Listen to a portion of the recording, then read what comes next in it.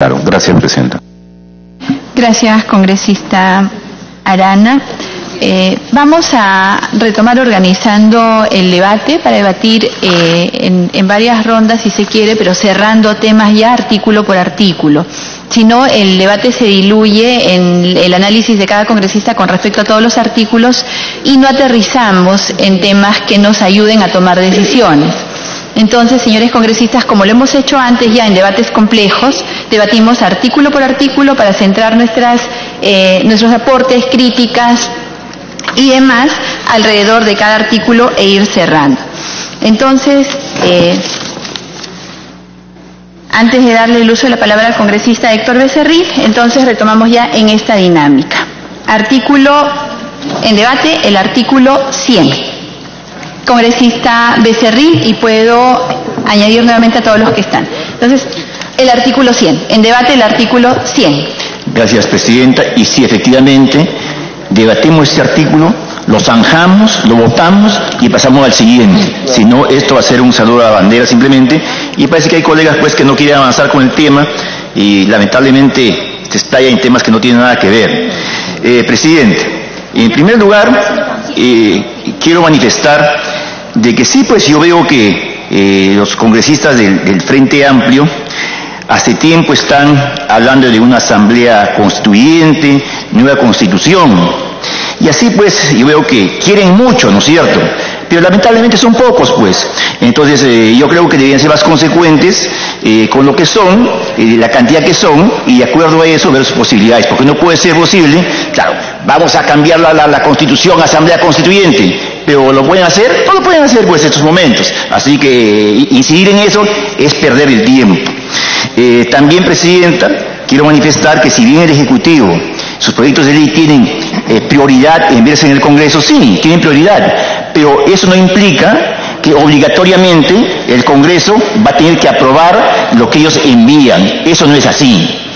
Yendo ya al artículo eh, 100, Presidenta, hay que saber diferenciar lo que es inmunidad parlamentaria, lo que es antejuicio político y lo que es el juicio político. Si acá finalmente eh, vamos a dar eh, la potestad de que el Ministerio Público pueda tipificar las denuncias que salen del Congreso con una acusación como ellos quieren, entonces, Presidenta, está demasiado, eh, en todo caso, la, el antejuicio político. ¿Para qué hacer un antejuicio político si finalmente el antejuicio se califica y se ve por qué delitos va eh, los aforados al Ministerio Público. Si eso no va a ser así, entonces eliminemos el antejuicio. Acá hay muchos congresistas que quieren regalar la autonomía del Congreso de la República. Nosotros en Fuerza Popular vamos a defender con toda la autonomía eh, de este Congreso, porque creo que el pueblo nos ha elegido para eso y no para acá venir finalmente y estar de rodillas a lo que quiere el Ejecutivo. Nosotros no vamos a estar de rodillas, presidente. Yo creo, aún más, eh, tan solo nos quedaríamos en todo caso, ya no con el antejuicio, como plantean, sino simplemente la inmunidad y el juicio político, porque ya no tendría razón, como digo, de calificar acá eh, cómo van las denuncias. Y acá también, Presidenta, no sé si el Congreso ha hecho llegar su, su, su rechazo, porque ahora el Ministerio Público, justamente en los casos de los consejeros, ha eh, aumentado a organización criminal, a pesar que en el caso de los consejeros el Congreso no ha autorizado para que sea organización criminal. Y aún más, el gobierno, perdón, el Poder Judicial de España acaba de dar la razón en realidad eh, a ese tema, porque acá todos lo quieren poner en organización criminal y, o, en España han dicho que eso no procede. ¿Por qué? Porque no se trata simplemente, pues como acá en el, Perú, de venir y, darte un delito lo que se le ocurre a los fiscales. Yo veo que acá dice Presidenta que el hecho que el Congreso tipifique por qué van a ir investigados los congresistas, se va a formar una arbitrariedad del Congreso. ¿Y sabe quién dice eso, Presidenta, colegas? Los que justamente ahora tienen la arbitrariedad del Ministerio Público. O sea, no dicen, eh, el Congreso va a ser arbitrario. ¿Y qué dice respecto a la arbitrariedad del Ministerio Público? No dicen nada, obviamente, porque no les conviene. Entonces, Presidenta, acá ni arbitrariedad del Congreso, pero tampoco arbitrariedad del Ministerio Público. Así que yo estoy completamente de acuerdo con el dictamen, Presidenta, que ha presentado la Comisión. Gracias. Gracias, congresista Becerril. Congresista Aramayo. Artículo 100, congresistas. Le recuerdo que está en debate el artículo 100. Gracias, Presidenta.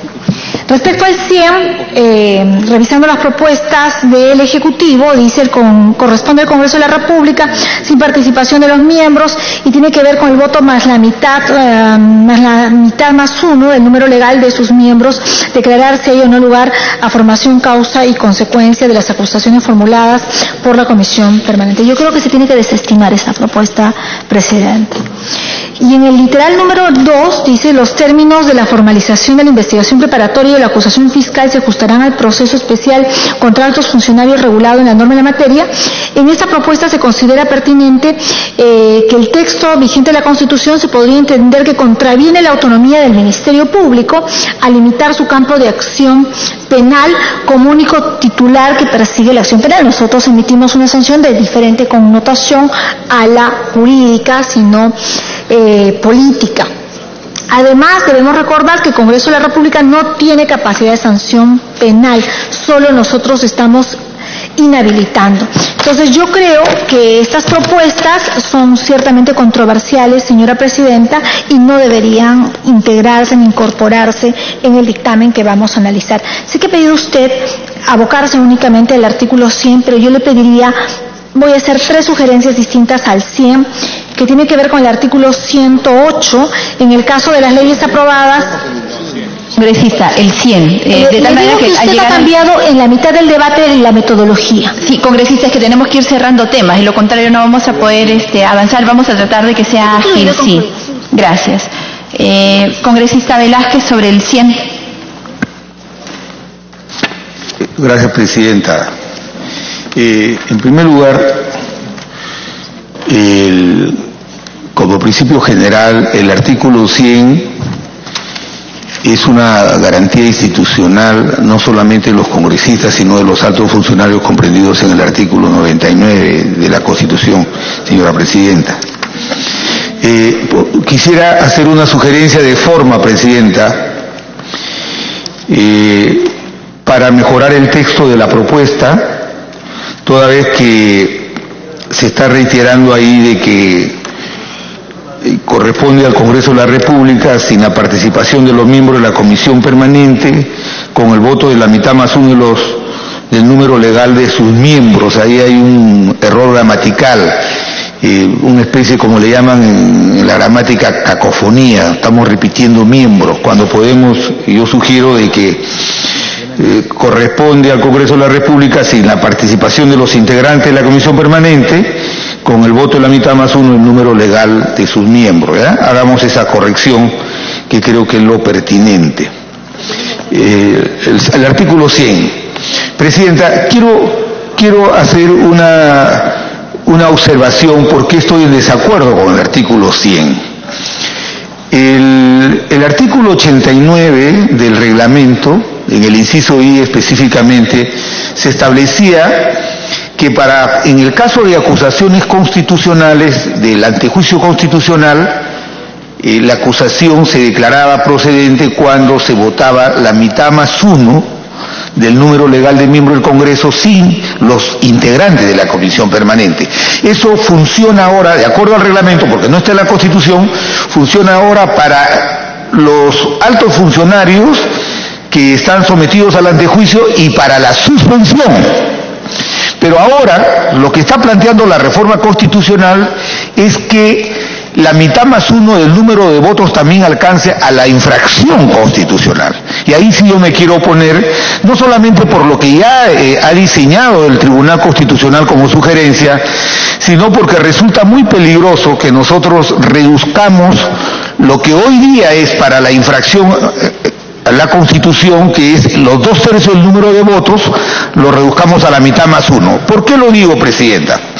Primero, es porque en el antejuicio político, cuando se trata de delito de función o de suspensión, tratándose de delitos, los hechos son más concretos y el principio de la legalidad siempre va a darle al, al Congreso le va a dar para su decisión mayores elementos que para el tema de, la infracción. En la infracción hay una motivación subjetiva.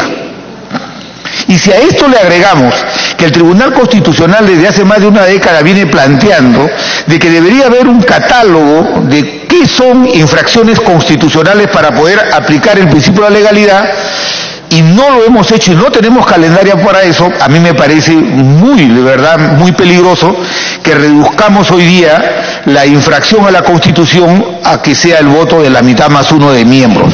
Y lo digo por qué. Además, Presidenta, ¿por qué? Porque el procedimiento de antejuicio es habilitar al Poder Judicial para investigar al alto funcionario. En cambio, el objetivo de la infracción a la Constitución no solamente castiga al alto funcionario, o sea, aquí ejercemos función sancionadora. Castigamos y además inhabilitamos hasta por 10 años.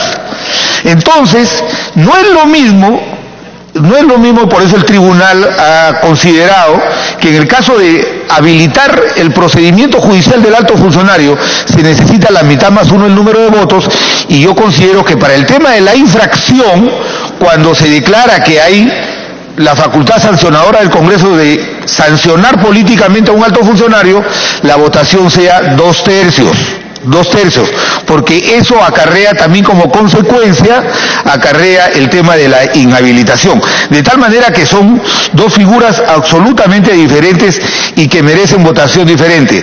Y esto también porque el Tribunal Constitucional, en dos sentencias, específicamente ha establecido, por ejemplo, que para declarar la vacancia del presidente de la República se necesitan unos dos tercios del número de votos del Congreso menos los miembros de, eh, perdón, los dos tercios del número de votos del Congreso.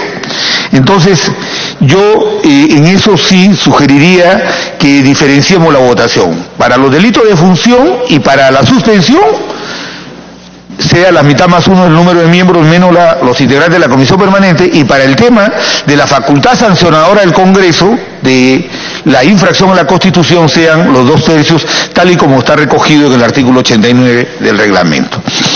Me voy a referir a la, última parte del artículo 100, Presidenta.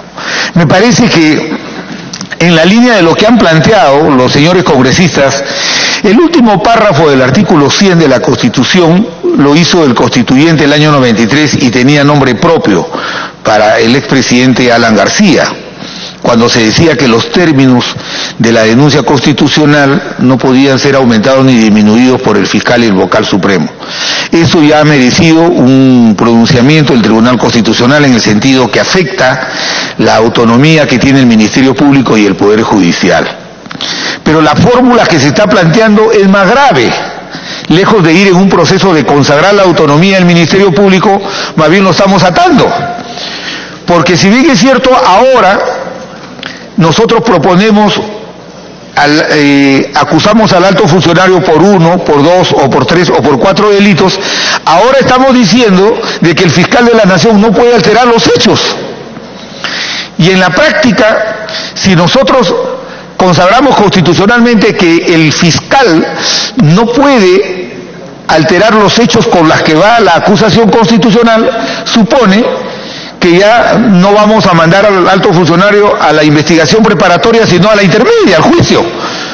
Porque ya el fiscal no va a poder, en su facultad constitucional, de investigar nuevos hechos que refuercen la situación jurídica del alto funcionario investigado. Entonces, entonces, ¿qué es lo, qué es lo que pasa? El Congreso no tiene herramientas para determinar los hechos de una conducta delictiva, solamente tiene indicios.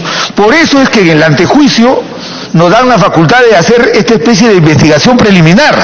Pero conforme se está planteando en el artículo 100 de que no puede el fiscal alterar los hechos, ya también nos estamos asumiendo la preparatoria. Y de frente habría que enviar al alto funcionario al juicio oral, y me parece que eso es un exceso. El Parlamento no puede reforzar su atribución con menoscabo del Ministerio Público y del Poder Judicial. Me pido interrupción a la congresista Lórez Alcorta antes de terminar la, reflexión, presidente. Gracias, presidente. No solamente, no eh, coincidir en lo que ha dicho, pues lo que, lo que no podemos hacer es atropellarnos en los poderes del Estado. Por ejemplo, en el caso de Alan García, el día que fue este, al Ministerio regresaron, o en el caso de Susana Villarán recientemente, ¿no? La Fiscalía amplía, pide postergar justamente la reunión, la sesión, porque han aparecido nuevos hechos el día anterior y necesitan ambos lados conocer la situación y ambos lados tomarse el tiempo por lo menos 24 horas. Por eso que creo que no puede ser una atribución del Congreso, sino es una atribución que tiene la Fiscalía. Nada más. Gracias, presidente. Congresista Mantilla. Gracias, gracias, congresista. Sí, para, aunque yo tengo una intervención posterior, pero solamente para precisar un tema procesal, congresista, eh, presidenta.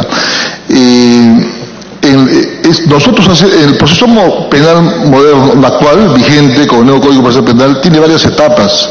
La investigación preparatoria, la intermedia y la acusación, la juicio oral. En la preparatoria está dividido en dos partes, la preliminar y la formalización de la investigación. Entonces, nosotros aquí lo que hacemos es la investigación preliminar, reunir indicios.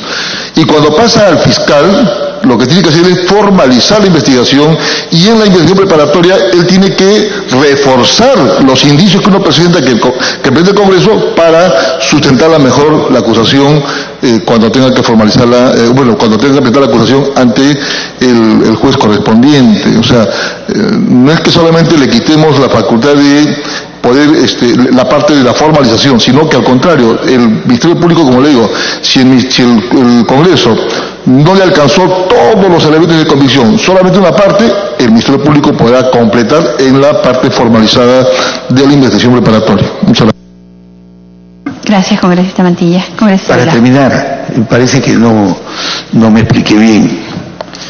En el caso de los altos funcionarios del artículo 99, el, el marco constitucional actual permite de que el Parlamento en toda esta etapa de la subcomisión, de la comisión permanente y de la etapa de acusación hace lo que se llama la investigación preliminar del nuevo proceso penal. Una vez que nosotros reunimos indicios, indicios nada más, autorizamos la acusación de alto funcionario y el fiscal de la Nación hace la investigación preparatoria. La preparatoria, ¿qué hace? Recoge los indicios, reúne nueva prueba, refuerza tus tesis y si encuentra que su hipótesis es reforzada y está consolidada, van a juicio oral. Pero ahora, conforme está planteado el último párrafo del artículo 100, de que el fiscal no puede modificar los hechos, entonces el fiscal no puede reunir más prueba para reforzar su tesis y de frente lo estamos llevando ya al juicio oral. Más bien el Parlamento se está, se está asumiendo la investigación preparatoria, la preliminar y la preparatoria. Me parece que eso es incompatible con el principio de unidad de la Constitución. Estamos aún más menoscabando las funciones de la Fiscalía de la Nación. A pesar que tengo mis reparos con algunos fiscales o jueces, cuando uno hace una reforma constitucional, plantea una reforma que se perenice en el tiempo entonces que garantice la autonomía de los poderes públicos. Por eso creo, Presidenta, que en el peor de los casos mejor dejemos como está el último párrafo del artículo 100, porque conforme está planteado en que se, tienen que respetar los hechos, ¿de qué hechos hablamos? Si nosotros no hacemos inspecciones oculares, si nosotros no hacemos eh, pericias, entonces, creo que sería, eh, es más gravoso la forma como se está planteando y en eso sí creo que el Parlamento se está irrogando una función que no le corresponde, hacer la investigación preparatoria, no nos corresponde. No nos corresponde. Por eso creo, Presidenta, que eh, aquí hay que mejorar esa reacción y en ese sentido hay que garantizar la autonomía de que la Fiscalía, el, Ministerio Público como institución tenga, conforme lo dice el artículo 158, la representación de la sociedad a través de titularizar la acción penal. Y esto me pido una introducción, Gino Costa. Gracias, Presidenta. Gracias, colega.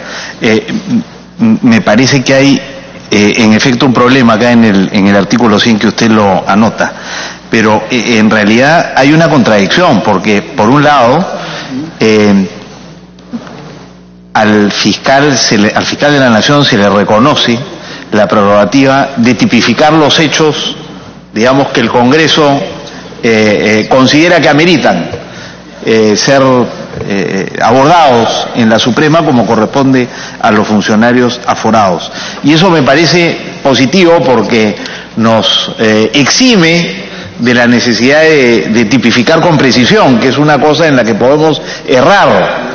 Le corresponde esa función más bien al fiscal. Este, y en ese sentido me parece feliz eh, la modificación que se introduce. Pero a relón seguido dice, para tipificar el hecho objeto de la autorización de procesamiento penal, denunciando ante la Corte Suprema en el plazo de cinco días. Entonces, en realidad, son hechos sobre los cuales, son hechos con los cuales ya se va a juicio oral. Porque en un plazo de cinco días, este, los, se tiene que presentar la acusación fiscal. Más adelante, ¿qué dice? Dice, los términos de la formalización de la investigación preparatoria o la acusación fiscal. Entonces, en realidad, más abajo está reconociendo que el fiscal tiene dos opciones, o acusar de inmediato si el caso está maduro, o iniciar la fase de la investigación preparatoria, cuando el caso no está maduro, en cuyo caso el plazo de cinco días no, no, no juega, es, es, una camisa de fuerza. Si queremos darle la libertad al fiscal de la Nación de decidir si hay que, en efecto, entrar a la fase de investigación preparatoria, porque todo lo que ha hecho el Congreso es una investigación preliminar, entonces, ¿por qué le damos al fiscal cinco días para acusar? Es contradictorio. O acusa o hace la investigación preparatoria, que es lo que me parece que, eh, eh, digamos, hay un cierto consenso acá de que la investigación que hace el Congreso es preliminar, este, se establecen los hechos sobre los cuales el fiscal investiga, se investiga en fase de investigación preparatoria y concluida la investigación preparatoria, es decir, mucho más allá de los cinco días que el proyecto le está dando, recién entonces se procede a la acusación fiscal. Hay, un error en la, en la interpretación del artículo 100. la propuesta que viene de la comisión no le da cinco días al fiscal para que acuse. Es el Congreso el que acusa. O sea, luego de hacer la investigación preliminar, el Congreso acusa. La acusación a la que refiere el congresista Gino Costa es una etapa, la llamada etapa intermedia que le llaman en el nuevo Código Procesal Penal, que es la que sigue a la preliminar y a la preparatoria. De eso no está referido el artículo 100. Por eso lo que yo sostengo, Presidenta, es que eh, pensando en futuro, hay que garantizarle la independencia al Ministerio Público, aun cuando hayan fiscales mediáticos, fiscales que se exceden. En todas las instituciones hay personas así, pero yo creo que hay que consagrarle a la independencia y autonomía al Ministerio Público.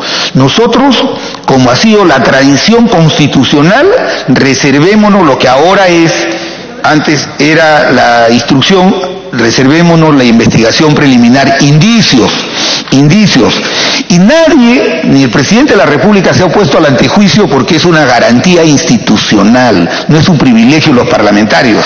¿Se imagina usted, como está pasando ahora, que en Tumbes, que en Tacna al presidente lo estén denunciando por haber dado una disposición, o el caso de los, de los jueces supremos por dictar una sentencia que estén eh, denunciados en Tumbes, Piura, harían perturbarían el, el, normal funcionamiento de las instituciones autónomas. Por eso es que en este tema, Presidenta, resumo mi propuesta. Primero, que hay que diferenciar la votación. Para los casos de delito de función y suspensión del alto funcionario, la mitad más uno del número legal de congresistas. Para el caso de la facultad sancionadora del Congreso, que es diferente a la autorización para procesar, que es sancionar al alto funcionario por infracción a la Constitución y por ende la inhabilitación, ahí sea dos tercios, como lo ha propuesto el Tribunal Constitucional, como lo ha propuesto también para vacar al presidente de la República. Porque ahí estamos ejerciendo facultad sancionadora con criterios estrictamente subjetivos que puede ser objeto de que una mayoría parlamentaria, queriéndose deshacer de un adversario, se puede, por infracción a la Constitución, se puede deshacer de adversarios políticos. Lo digo en ese contexto. Y tercero, Presidenta, creo que la propuesta de reducir, de establecer que la Fiscalía de la Nación no puede aumentar los hechos que sustentan una acusación del Congreso me parece grave, porque con eso en la práctica el Parlamento está asumiendo la etapa preparatoria y le está recortando aún más la función al Ministerio Público, cuando el, el principio debería ser que el Ministerio Público, recibida la acusación del Congreso, pueda discernir si los hechos constituyen tal o cual delito y aumentar o disminuir los delitos, como pasaba con la Constitución del año 79 porque no es verdad, como se dice ahora, de que es responsabilidad del Congreso la calificación de los delitos que ha hecho a un alto funcionario. El Congreso ha hecho una investigación preliminar, preliminar. Y es más, lo digo, Presidenta, ya en algunos casos la Fiscalía Suprema, en tanto no modifique la Constitución, en una actitud inconstitucional, ellos han ido al Poder Judicial y han logrado, de un juez supremo provisional, han logrado cambiar la calificación de los delitos que el Congreso había hecho. Ya lo han hecho hace poco, hace tres semanas. Han cambiado. Negociación incompatible por colusión agravada. Y eso no es facultad que actualmente la Constitución le otorga a la Fiscalía de la Nación. Entonces, si seremos la cosa, y creo que tal y conforme está el planteamiento, creo que hay que retirar el tema de eh, en función de los hechos y en todo caso hay que dejarlo, ah, si no hay consenso, hay que dejarlo que la tipificación que haga el Congreso eh, siga porque en la medida que el fiscal tenga las manos sueltas para seguir investigando, acumulando más hechos, resbordando su hipótesis, es evidente, es evidente que lo que nosotros hemos constreñido solamente es al autoapertorio y a la denuncia del fiscal, porque la sentencia y el proceso de acusación sí tiene amplia autonomía el Ministerio Público del Poder Judicial para determinar la responsabilidad del alto funcionario. Gracias, presidente. Gracias, congresista Velázquez, congresista Mulder. Presidenta, voy a comenzar por lo último, porque voy a discrepar de mi colega y compañero Javier Velázquez Quesquén. Eh, efectivamente, el Ministerio Público tiene independencia, pero lo que hace lo que hace el Congreso no es una investigación preparatoria. Nosotros no somos los fiscales en ese tema. El Congreso lo que hace es un antejuicio. Antejuicio se llama. Es una prerrogativa en donde hay un juicio previo que hace el Parlamento para los altos funcionarios. Y lo que se determina en el Parlamento va al Ministerio Público. Muy bien, ahí hay una discusión. El artículo 183 de la Constitución del año 79 no decía nada, decía simplemente se formula la acusación y se va al Ministerio Público.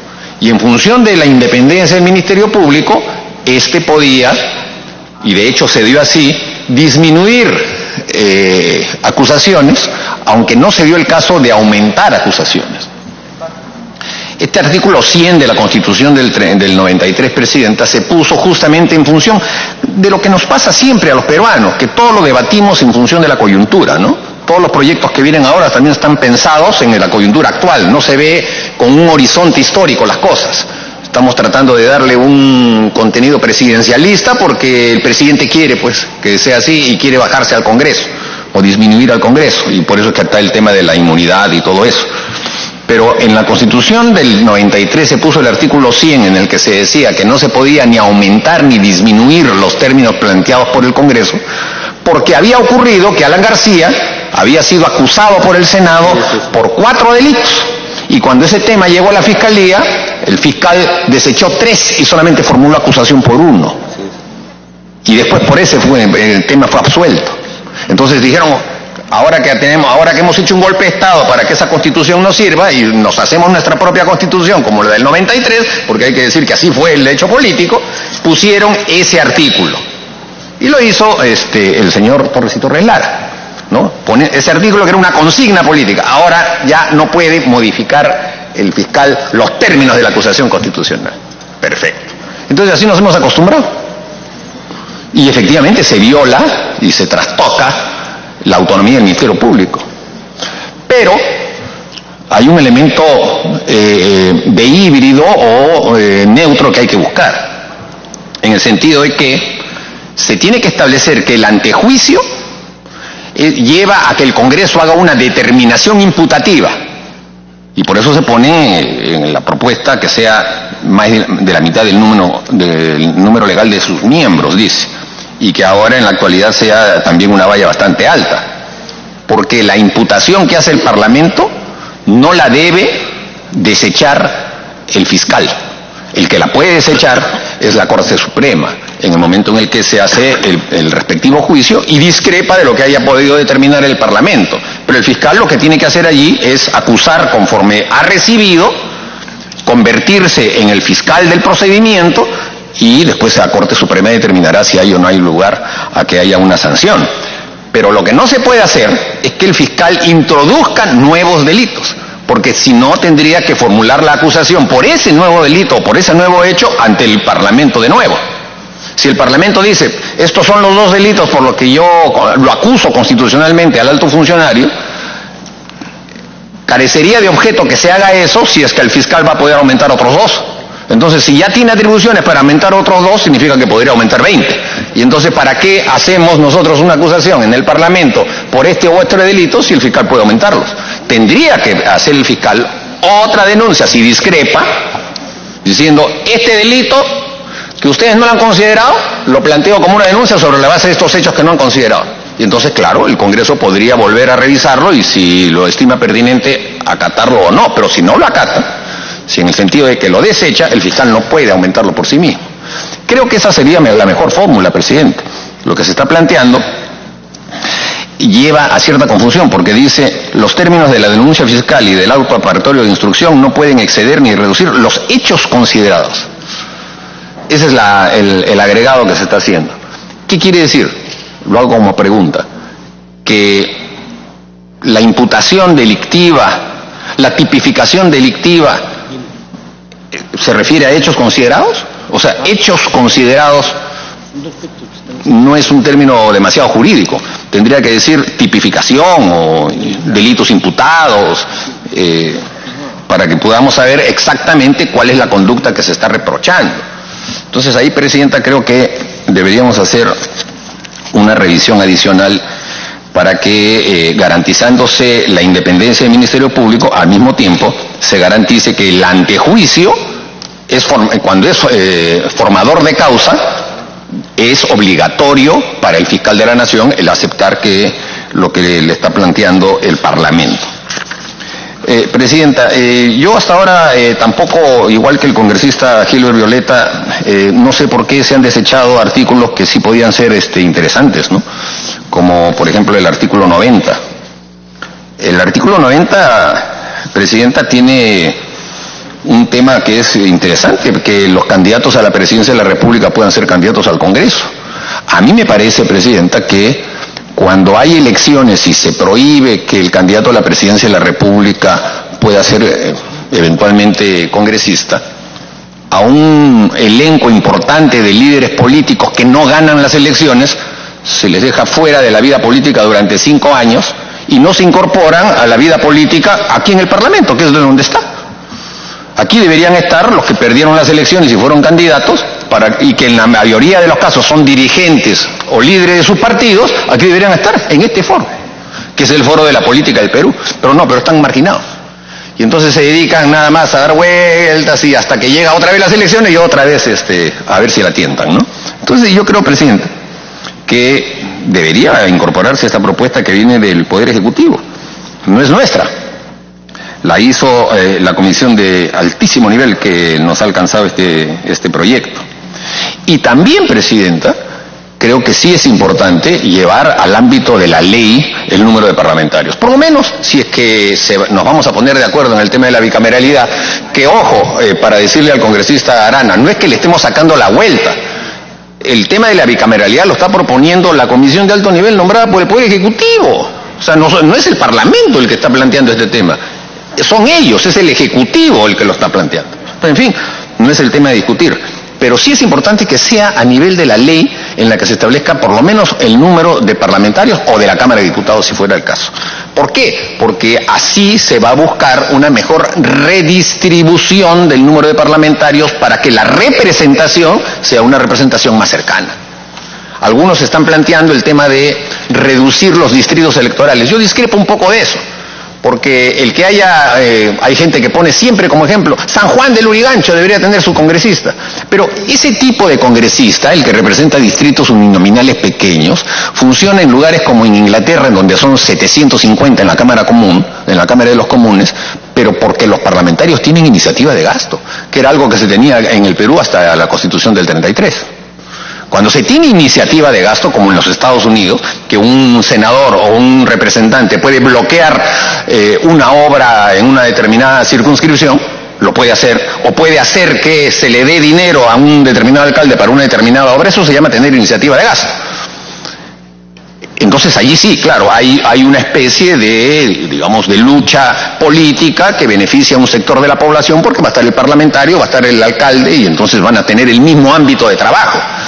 Pero en un parlamento como el nuestro, que no tiene esa prerrogativa, los parlamentarios lo único que hacen es ir al Poder Ejecutivo a gestionar, a pedir ayuda con esto, ayuda con lo otro, etc.